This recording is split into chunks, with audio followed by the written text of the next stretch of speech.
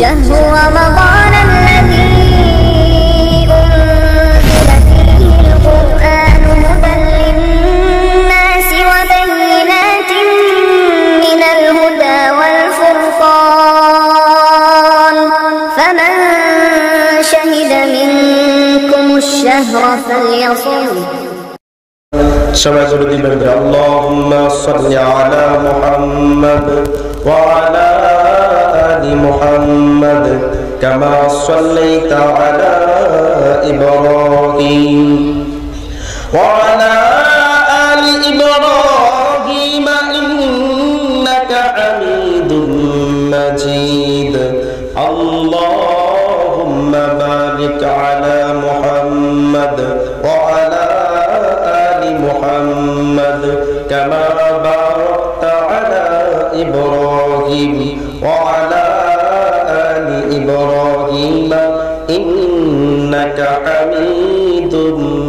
মাজিদ আসরিয়া ইসলামী হাফিজিয়া মাদ্রাসা ও উদ্যোগে। বার্ষিক ওয়াজ মাহফিল। এই ইসলামিক জলসার সুযোগ্য, অভিজ্ঞ, মার্জিত, সম্মানিত সভাপতি শাহেখ আব্দুল্লাহ মাহমুদ সাহেব। আর উপস্থিত রয়েছেন দূর দূরান্ত থেকে আগত স্নেহের কচিকাচা বয়োজ্যেষ্ঠ, বয়কনিষ্ঠ ভাই ও বন্ধুগণ। অল্প সময়ের ভিতরে, স্বল্প কথার ভিতরে কিছু শিক্ষণীয় বিষয় যেন আমরা শিখতে পারি। এভাবে বলার চেষ্টা করব, যদি আপনারা শোনার চেষ্টা করেন। আপনারা শুনতে রাজি আছেন? কি বলি? একটি কাজ করলে মানুষ জান্নাতে যাবে। একটি কাজের মাধ্যমে মানুষ জান্নাতে যাবে। কি সেই কাজ?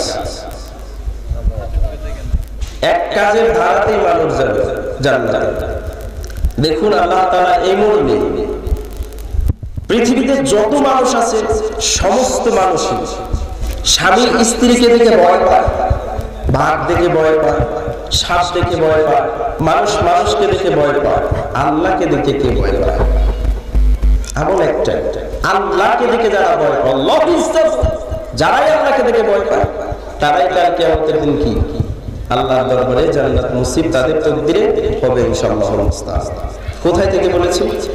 অল্প পরিসরে গল্পের মাধ্যমে নয়, কোরআন এবং হাদিসের মাধ্যমে আপনাকে বলতে চাচ্ছি। আল্লাহ তাআলা সূরাতুল ইসরা 109 নম্বর এখানে উল্লেখ করে বললেন ওয়ায়াফিরুনা লিল আযকানি ইয়াবকুনা ওয়া ইয়াসিদুহুম খুশুআ। আমার শুনিয়ে বাপ ভাইরা কোন দিকে খেয়াল দেওয়া যাবে না।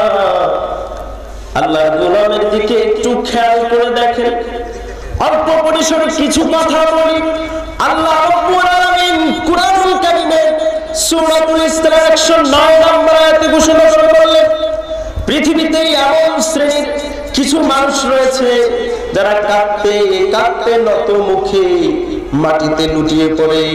মাটিতে লুটিয়ে যাওয়ার পর আবার তাদের কান্না, তাদের ইমান এমনকে আরও মজবুত করে দেয়।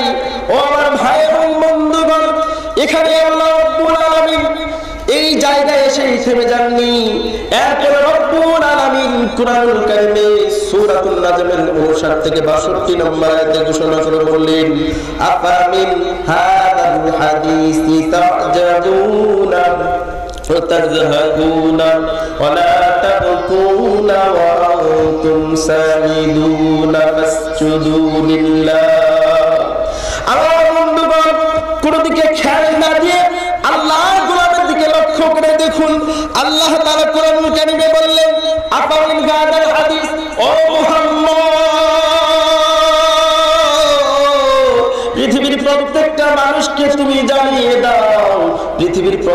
মানুষ যেন আপামিন হাদাল হাদিস।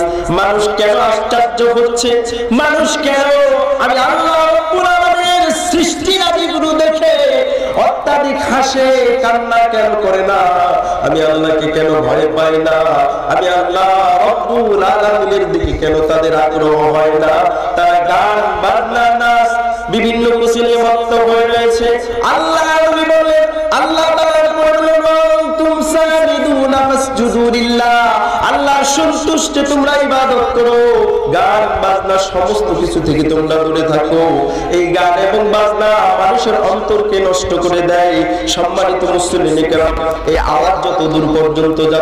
আপনাকে একটা রিকোয়েস্ট আজকে করে যেতে চাই। একটা মাত্র আমল করলে গোটা পৃথিবীর সমস্ত মানুষ জান্নাতে যাবে। আমলটার নাম কি আপনাদের কাছ থেকে শুনতে চাচ্ছি? বলতে কি জানি আমলটার নাম জানি কি ভয় কি ভয় ভয় থাকলে মানুষ জান্নাতে যাবে কোরআন থেকে বলেছে এবার হাদিসে চলে আসেন ওয়ান ইবনে আব্বাস রাদিয়াল্লাহু তাআলা আনহু قال سمعت رسول الله صلى الله عليه وسلم يقول عينان لا تمسهما النار عين باتت من خشية الله عين باتت تحرس في سبيل الله رواه الترمذي ترغيب الترغيب আল্লাহ নবীকে তারকিবার তারকিবে 4707 নম্বর হাদিস।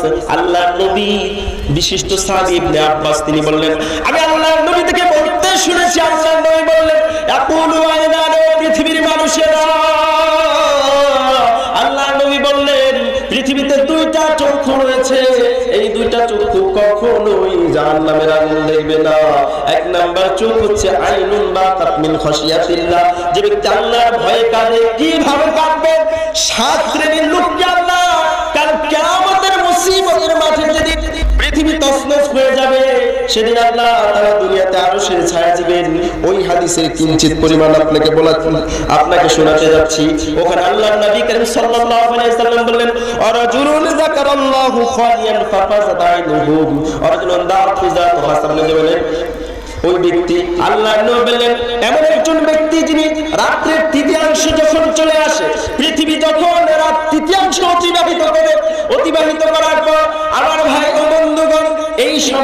তৃতীয়াংশ যখন চলে যায়, আল্লাহর দরবারে দুই সালাত করে বা আদায় করার পরে আল্লাহর দরবারে হাত উঠায়। হাত উঠে বলে আমি তোমার বান্দা, তোমাকে মহাব্বত করি, জীবনে পাপ করেছি, গুনাহ করেছি, অন্যায় করেছি, ভয় করি তোমাকে। তোমার কাছে ক্ষমা চাই, তোমার কাছে চাই আল্লাহ যাওয়ার কোনো জায়গা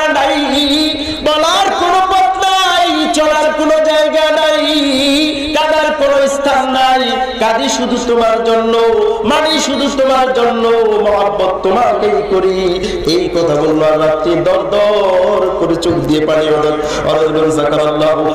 ফাফাজাতাইনাহু, চোখ দিয়ে দর দর করে পানি পড়ে। আর আল্লাহ হাতে তোমার কাছে কান্দি। জীবনের যৌবনের যত গুণা করলাম, সব গুণার জন্য মাপ সব গুণার জন্য ক্ষমা চাই। এই ব্যক্তি জান্নাতিবাসী হবে। এই ব্যক্তিকে আল্লাহ জান্নাত দিবেন। একটা কাজ করলেই জান্নাতি হবেন, তার নাম কি? ভয়। আল্লাহকে ভয় করতে হবে। আল্লাহ এখানে ভয় করতে বললেন। এবার চলে আসুন তো।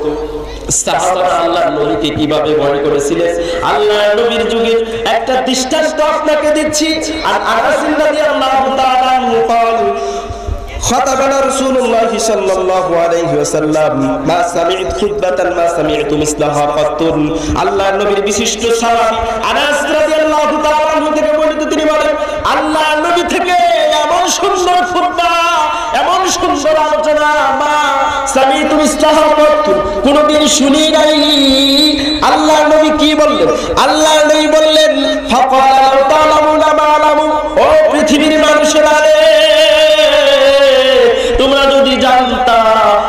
যদি বুঝতাম, তাহলে আল্লাহ বললেন তবে তোমরা কি করতে?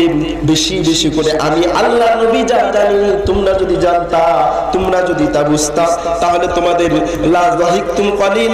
হাসতে কম, বলেন তো হাসি আমাদের ভিতরে অত্যাধিক বেশি না? হাসলে কি হয়? অন্তর মারা যায়। হাসলে কি হয়?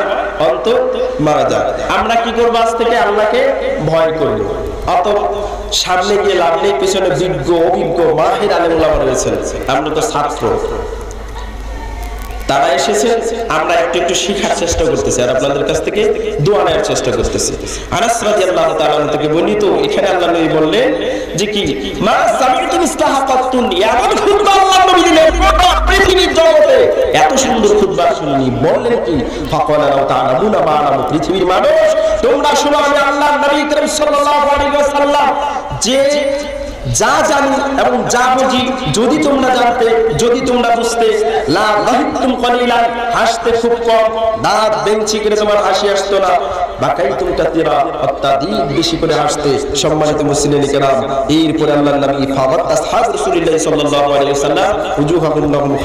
এরপরে আল্লাহ নিচের মাথা দিলেন তারা কান্নাকাটি করা শুরু করলেন। অত্যাধিক ভাবে কাঁদতে থাকলেন, তাদের চোখ দিয়ে দর দর করে পানি আস- আসতে থাকল।